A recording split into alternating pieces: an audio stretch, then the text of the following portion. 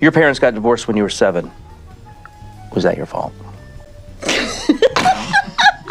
Guess why? They named their daughter after a fucking piece of cheese. I'd like to thank Crystal Meth Santa Claus for being here. if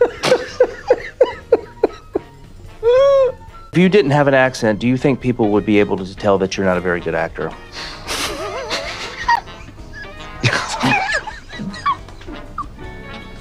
Please keep going.